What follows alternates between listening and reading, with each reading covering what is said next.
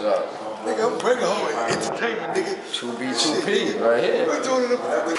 You already know what we do to the motherfuckers. Basically. Help me help you. Basically, help me Ain't help no you entertainment. Ain't no disrespect to these motherfuckers in the United States of America.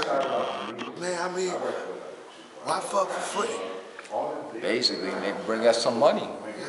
Break you off a little percentage. Yeah, you crazy I motherfucker. see 2%. Get a percentage. Five percent, we get ninety-five. Yo, you know what I love about you? You like a gorilla motherfucking pimp, nigga. Like, you go so hard on the bitch, it should be crazy. All I try to do is, You give him bread and water. I give a bitch some bread, water, and she I tell him not to eat. Say, bitch, fix your face.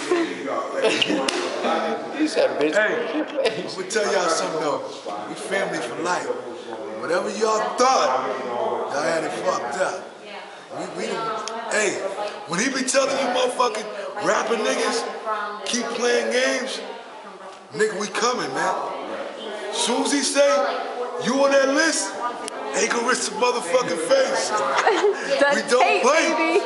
Duct tape. I told you the streets still got my back. You know, I mess with the industry, but I still got the streets Tell that me it's a list. back. It's a list. Soon as you get on that list, you can't get off that list. Oh, I got a But list. if we, we get money and he cool, we break bread together. We all make money. Don't be trying to use him and get on and then cross him.